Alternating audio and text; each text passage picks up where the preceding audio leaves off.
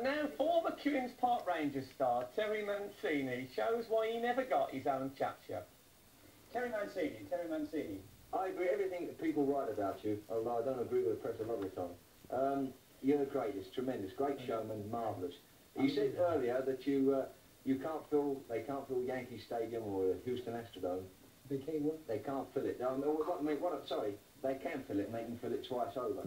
But your pre-fight, your pre-fight uh, build-ups, um, when you go to the weigh-in and you, or they appear mock-up battles with the other opponent. Are they really?